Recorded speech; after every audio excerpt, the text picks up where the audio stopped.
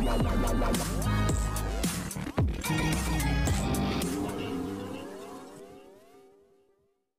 आप देख रहे हैं सीरियल से आपा। अगर आपने अब तक चैनल को सब्सक्राइब नहीं किया है तो फटाफट से इसे सब्सक्राइब कीजिए। टीवी सीरियल सुमन इंदौरी के आने वाले एपिसोड में दिखाया जाएगा कि ऋषि जो है, वो काफ़ी ज़्यादा परेशान हो रहा होगा, वो काफ़ी ज़्यादा तड़प रहा होगा।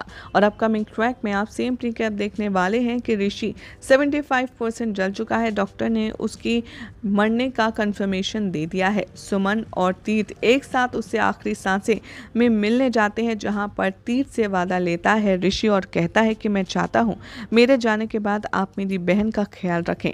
इसके लिए आप मेरी बहन से शादी कर लीजिए। जैसे ये सब देखती है आ, सुमन वो काफ़ी ज़्यादा हैरान हो जाती है और यहाँ पर सुमन का हाथ पकड़कर वो तीर्थ के हाथों में रख देता है। अब तीर्थ भी यहाँ पर उसके सिचुएशन देखकर मना नहीं कर पाता और अब तीर्थ सुमन से शादी करने वाला है। आखिर क्या होगा देविका और बाकी सबका रिएक्शन देखना होगा काफ़ी खास।